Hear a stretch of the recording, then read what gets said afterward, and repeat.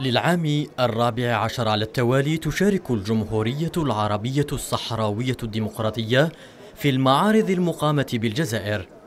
الصحراء الغربية تعرض منتوجاتها الحرفية المعبرة عن أصالة هذا البلد بمعرض الجزائر الدولي 2023 وهذه ليست هي الدعوة الأولى وليست هي المشاركة الأولى للجمهورية العربية الصحراء الديمقراطية. واللي بالنسبة لنا هذه المشاركة يعني تعني هو وجود الدولة آه، الصحراوية في كل المحافل آه، مثلها مثل ما هي الدول اللي راهي مشاركة في هذا المعرض الدولي اللي تقريبا قرابة 30 دولة.